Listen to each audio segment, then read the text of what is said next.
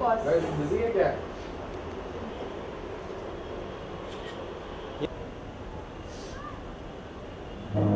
किशोर बोले ना एक मिनट वो ये जो को ऊपर करने वाला।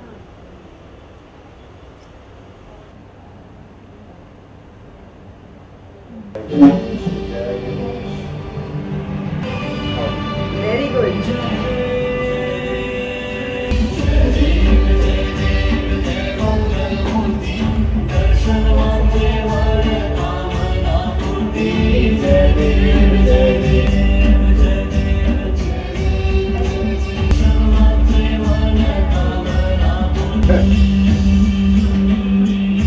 लगा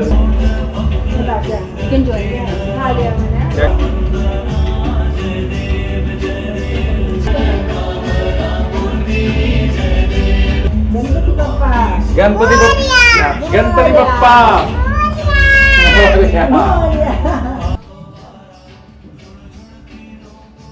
ढेर सारी बधा- बधाइयाँ। सारे व्यूअर्स को ढेर सारी बधाइयाँ गणेश चतुर्थी की। हमें आ, हमें सिर्फ़ दो साल हुए हमारा सेकेंड ईयर है रखते हुए, और पहला साल रखा तो हमें बहुत अच्छा लगा। तब हमें आइडिया नहीं था कि क्या क्या करने चाहिए क्या क्या रिचुअल्स होने चाहिए।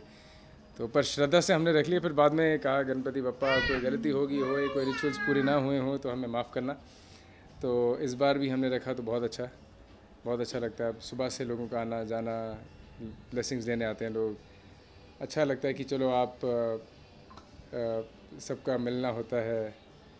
जय जय माता की अच्छा है बप्पा बप्पा की मेहर है, गणपति बप्पा हमारे तो इको फ्रेंडली गणपति हैं। जब हम लेने गए थे, जब बुक करने गए थे तो हमें आसपास के मिले नहीं थे तो ये था कि जहाँ भी है, हमने लेना है इको फ्रेंडली ही है। क्योंकि जितना भी हो सके, हर इंसान अपनी तरफ़ से थोड़ा थोड़ा करे, तभी आप इन्वायरमेंट में कंट्रीब्यूट कर सकते हो। तो हमारे तो इको फ्रेंडली ही है। हमारा सिर्फ़ एक ये है कि हमारे पीछे कार्डबोर्ड के हैं। हैं, पीछे कार्डबोर्ड है। ये कार्डबोर्ड नहीं, पीछे हमारा थर्मोकॉल है।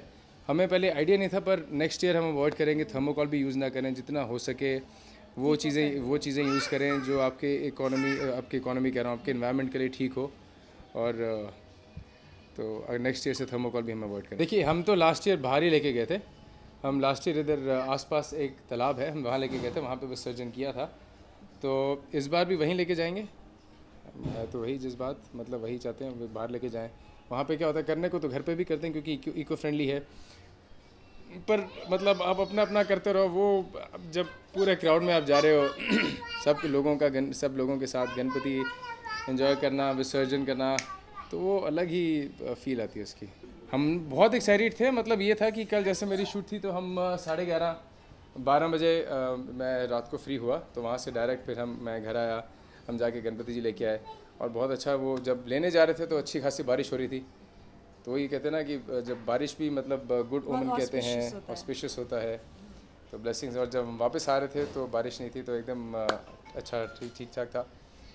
तो एक्साइटेड तो हम शुरू से थे सुबह से बात हो रही थी अच्छा मुझे डेकोरेशन की फ़ोटोग्राफ्स भेज कि क्या है कि क्या डेकोरेशन हुआ अच्छा आसन का क्या हुआ चीज़ें कैसे बनी तो हमारा सुबह से वही चल रहा था।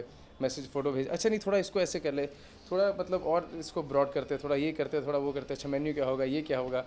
तो सुबह से ही मतलब थोड़ी एक्साइटमेंट चल रही थी। मैं इनफैक्ट दो तीन दिनों से। मैं ये कहना चाहता हूँ कि गणपति बप्पा, ये ऐसा फेस्टिवल है, गणेश चतुर्थी, गणपति बप्पा! मोरिया! गणेश चतुर्थी ऐसा फेस्टिवल है जो मेरे ख्याल across religion across caste celebrate किया जाता है।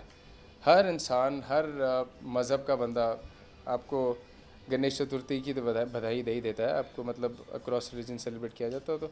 यही है कि गणपति बप्पा आप सबकी परेशानी आप सबकी दुविधाएँ ख़त्म करें और आपको खुशियों से धन धान्य से सामर्थ्य से भर दे भर दें। यही मेरी दिली मनोकामना है। गणपति बप्पा! मोरिया। ठीक है। Thanks a lot thanks a lot